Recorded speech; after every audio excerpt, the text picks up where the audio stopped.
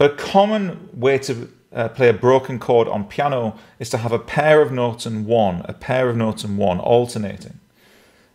And Imagine by John Lennon is a classic example of that. So rather than playing all three notes at once, a C, an E, and a G, we break them into a pair and an individual note.